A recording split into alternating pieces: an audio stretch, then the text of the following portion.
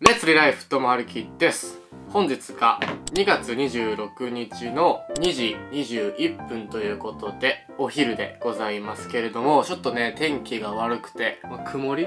曇りですかね。はい。ちょっとね、家のこのね、上にある照明というか、まあ、ライトを全開にすると、なんかちょっとね、こう、上から光が差し込んできてる感じになって、ここに影ができちゃうんで、これをこう、ちょっと、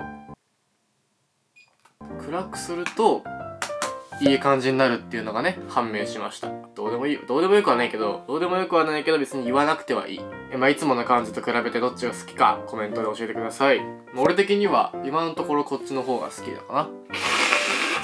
このさ鼻の下のさここのさニキビとかニキビ、まあ、ニキビの後治りかけみたいなところをコンシーラーで隠したんですけど花粉症だと鼻水噛むからさ落ちちゃうんだよね鼻水と一緒に。みんなどうしてんのかな？メイクとかしてる女の子鼻水噛む時どうしてんの？はい今日はですね最近ユニクロ U が新作を発表しましてみんなねファッション系の YouTuber の方が結構こぞってユニクロ U の新作を買ってきて紹介しているんで僕もそれやろうと思って。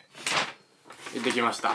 今回はね新宿のビックロに行ってユニクロ U の新作を4点買ってきましたんでそちらを紹介していこうと思います、まあ、あくまで僕のこの動画はですね皆さんみたいにここがすごく良くて買った方がいいマストバイだよとかこれは買わなくてもいいかなっていうよりかは俺が店舗に行ってあいいなって思ってきたものを紹介するっていう感じ。まあ学生の等身大の買い物っていう感じなんでそういうスタンスでご覧ください。というわけで今回は俺がユニクロ U の新作を買ってきたんでそいつらを紹介していこうと思います。自由にやっていこう。いった。とね今回はトップス2点とパンツ2点買ってきました。均等にね買ってきましたよ。いやユニクロ紹介するのにユニクロとはかけ離れたような服着てますけど漢字書いてある服。あのこれ開封してる動画は概要欄に貼ってあるんでよかったら見てください。行きましょう。まずトップスから行こうかな。はいまず1着目はこちら。はいこちら。今回からちょっとねこう見せるんじゃなくてなんかハンガーとかにねかけちゃったりして紹介しちゃったりしちゃおうかなと思っちゃったりして。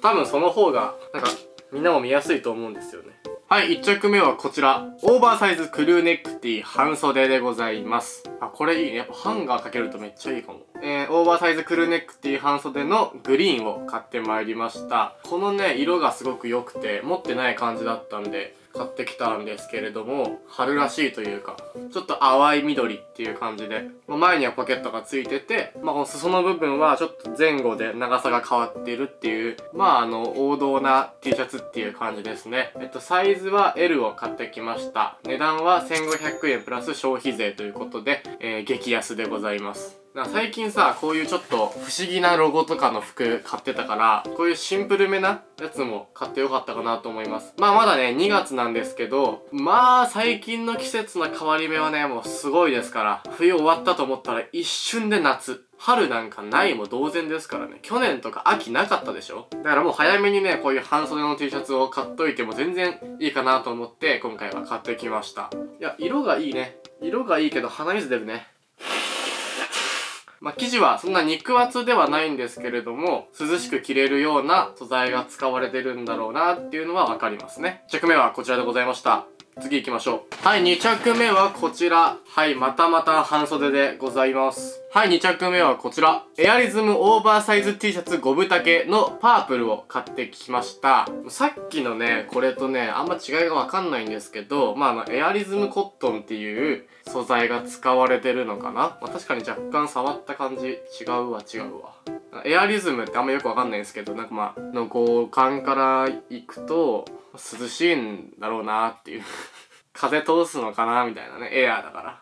のパープルを買ってきました。ちょっとね、珍しい色味だったんで、お、いいやんと思って買ってきました。はい。こんな感じです。見た感じではね、あんま素材の違いわかんないんですけど、まあ、触った感じで言うとね、なんだろう。こっちの方がちょっとしっとりしてる？そんな表現使うかわかんないけど、生地に。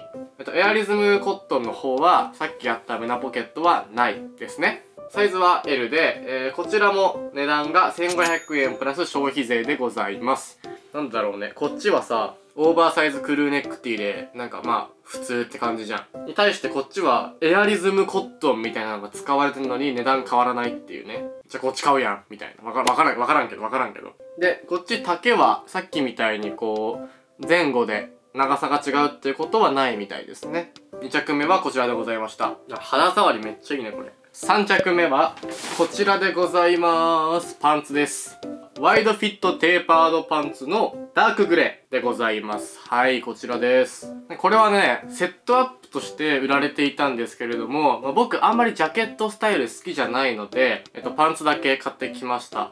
僕、スラックスパンツ持ってないので、まあこれスラックスっぽいなと思って買ってきました。で、色はまあ本当はね、ブラックが欲しかったんですけど、まあ人気みたいでブラックがなかったんですよ。なので、ダークグレーを買ってきました。まあこれはこれでいい感じじゃないですかまあ黒は大王道ですけど、ダークグレーは、まあ、いるか、いるわ。うん、いっぱい着てるわみんな。ということで、まあ名前の通りね、テーパードがかかっていて、綺麗めな感じで着れるパンツとなっております。サイズは S サイズを買ってきました。まあ、セットアップなんでちょっとスーツ味溢れますけど、まあ、春のね、ちょっと綺麗なコーディネートに反映させられればいいかなと思って買ってきました。えっと、値段はですね、3990円プラス消費税ということで、じゃあ次、ラスト4着目いきましょう。4着目はこちら。おっと、珍しいカラーですけれども、またまたパンツでございます。はい、4着目はこちら、イージーワイドフィットパンツの、えー、ダークオレンジ。ダークオレンジ聞いたことないな。ダークオレンジでございます。はい、またまたね、ワイドパンツを買ってきました。こっちはテーパードかかってるけど、こっちは簡単で、簡単だよっていう。そう、珍しくね、ちょっと暖色系のカラーのパンツを買ってみました。まああの、いつもね、青とかそういう色ばっかり買っちゃうんで、まあたまにはちょっと、こういう色もいいかなと思って買ってきました。これはね、店舗で見た時に形がすごくいいなと思って買ってきたんですけど、まあちょっとまだ伝わんないよね。この後ちょっと履いてみるので、その時見てもらえればいいなと思うんですけど、まあ、しかもイージーワイドフィットパンツということで、中にね、こう紐がついてるんですよ。なんかベルトを通すエリアがないんですけど、これ縛れば簡単に履けるよっていうね、結構大事ですからそういうの。感じですね。はい、以上4点でございました。なんか他にもね、ジャケットとかアウター系の軽いアウター、春アウターみたいなものも売っていて、皆さん結構それにね、注目していたんですけど、俺それあんまりだなぁと思ってスルーしちゃいました。でも GU もユニクロもそうだけどさ、レジがすごいよね。商品をさ、ぶっ込むだけで、もうめちゃめちゃ一瞬で何の商品が入ってるかっていうのがさ、認識されて、マジであれはすごいと思う。では、今回買ってきたこの4つの商品を実際に着て、サイズ感などを確かめていこうと思います。どこどこどんどんどんどんどんあ、身長はですね、173センチでございます。毎回ね、あの、入れ忘れちゃうんで言っておきます。はい。あの、173センチとは言っても、体型がめっちゃ気持ち悪いんで、参考になるかちょっとわかんないですね。はい、というわけで1着目はこちら、オーバーサイズクルーネックティーでございます。サイズ感こんな感じです。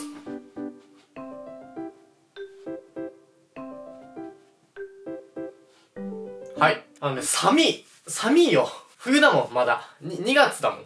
めっちゃ良くない？爽やかで。まあ、肘ぐらいまでね、この袖があるんで、流行りのオーバーサイズ感もしっかりありつつ、やっぱ色がね、一番いいですわ。なんか、なんか基本的に俺、秋冬のファッションの方が好きなんですけど、やっぱこうね、2月下旬ともなってくると、飽きてくるんですよね。そろそろ春夏のファッションしたいですね。まあ、今回 L サイズなんですけど、丈感もちょうど良くて、そのオーバーサイズすぎて足が短く見えちゃうっていうこともなさそうな丈感でいいですね。めちゃくちゃいい。色がやっぱ一番いいな。はい、2着目はこちら。エアリズムコットンオーバーサイズティーでございます。サイズ感こんな感じです。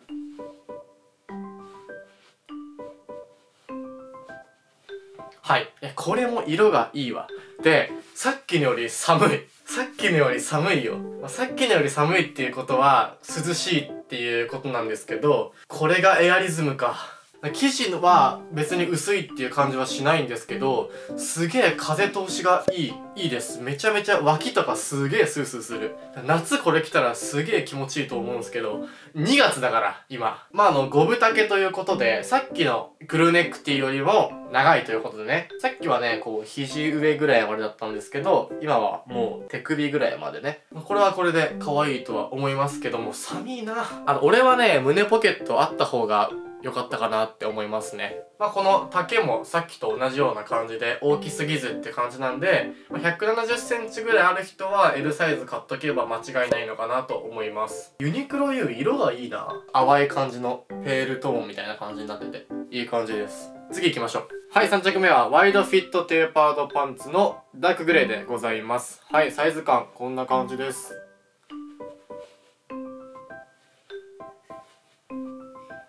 ちょっとね、室内なんで靴履いてないんですけど、えー、ご了承ください。あ、これ黒よりいいかも。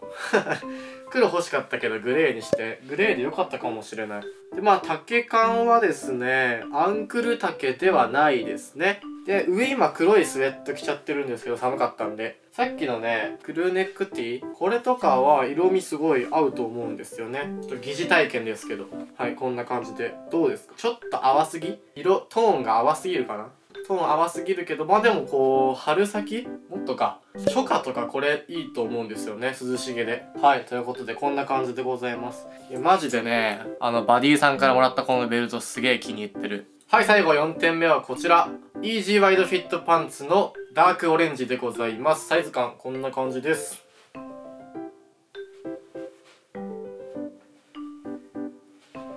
はい、どうですか？この形めちゃくちゃ良くないですか？さっきのパンツも一応ワイドパンツだったんですけど、こっちの方がよりワイドパンツっていう感じしますよね。このぶっとい感じ。いや、これがね、いいですよ。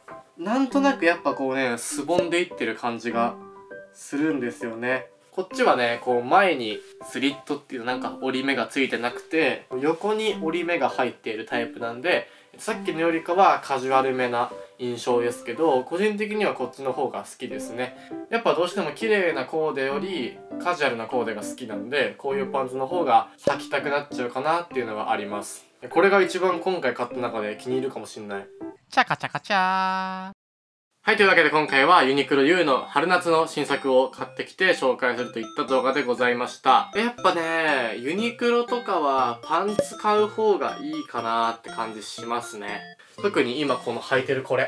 これがめっちゃいい。これすげえいいっす。これ他にもカラーバリあったはずなんで、まあダークオレンジが微妙だなって思う人でもちょっと覗いてみてね、あの、他のカラー見ていいのがあったら全然買ってみてもいいと思います。一番一押しです。というわけで今回は以上でございます。動画いいなと思ってくれたらチャンネル登録とグッドボタンよろしくお願いします。というわけでまた次回の動画でお会いしましょう。バイバイ。